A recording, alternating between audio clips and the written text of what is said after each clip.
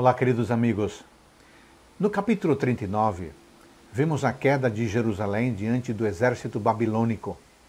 O rei Zedequias é capturado e levado ao rei da Babilônia, que o pune por sua rebelião.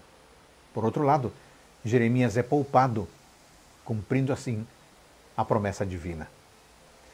Este capítulo nos mostra os resultados da obediência estrita à palavra de Deus, mesmo em meio a situações totalmente fora de nosso controle.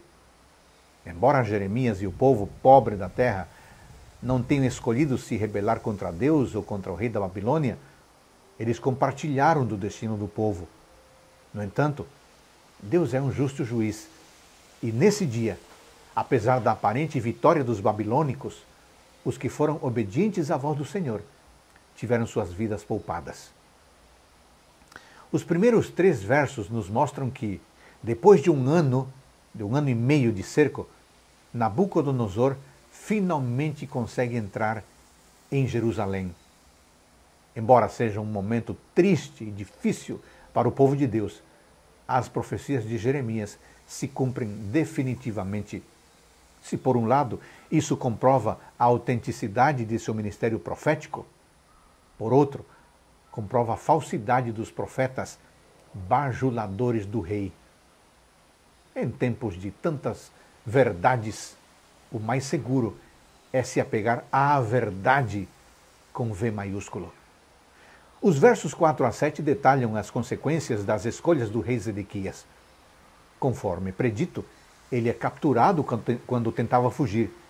Tem seus olhos, tem seus filhos mortos e seus olhos furados. Apesar de tudo, tem sua vida poupada, como foi profetizado em Jeremias 32, que Zedequias, rei de Judá, não se livraria das mãos dos caldeus, mas infalivelmente seria entregue nas mãos do rei da Babilônia.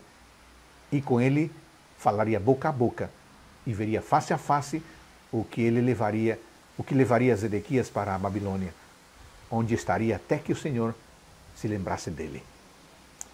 Uma das passagens mais impactantes deste capítulo é a fala do rei babilônico nos versos 11 e 12 o terrível rei Nabucodonosor pede ao seu chefe de guarda que não somente não fizesse mal a Jeremias, mas que cuidasse dele e ainda que deixasse-o escolher qual seria o seu destino, se seria levado para a Babilônia ou deixado onde o profeta escolhesse.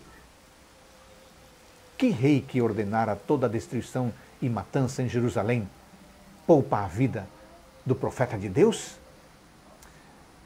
Tiramos importantes lições deste capítulo, amigos. Primeira, o que Deus fala acontece, sejam coisas boas ou más. Segunda, no meio de um, de, de um desastre completo, Deus pode salvar a vida de um ou de muitos dos seus filhos fiéis. Terceira lição: chegará um tempo em que as nossas escolhas selarão o nosso destino eterno.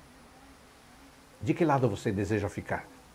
do lado que parece estar ganhando ou do lado que certamente vencerá a batalha final e eterna. É a sua decisão. Que Deus ajude. Amém.